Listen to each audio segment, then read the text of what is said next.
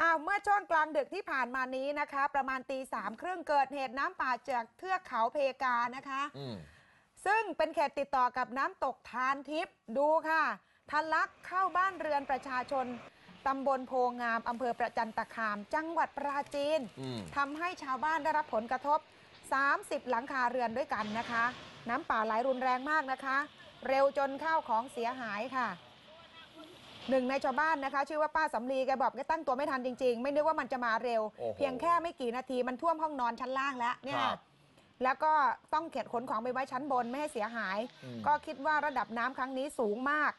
ร้านค้าร้านขายเช้านี้นะคะ ก็คงจะปิดแล้วค่ะ ไม่มีทีท่าว่าน้ำเอ่อจะท่วมท่วมมาก่อนเลยนะ ปรากฏว่า 20 นาทีทะลักเข้าท่วมเก็บของไม่ทันกันเลย อืมล่าสุดเทศบาลตำบลโพงามสั่งเจ้าหน้าที่อปปรออกไปช่วยเหลือเป็นการด่วนแล้วนะคะ ครับ